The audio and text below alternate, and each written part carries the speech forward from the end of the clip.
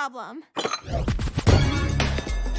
I'm Meilin Lee, and ever since I turned 13, I've been doing my own thing, making my own moves. 24 7, 365. I wear what I want, say what I want, and I will not hesitate to do a spontaneous cartwheel if I feel so moved. Crap! Not to brag, but being 13 means I'm officially a grown up, at least according to the Toronto Transit Commission. Good for you.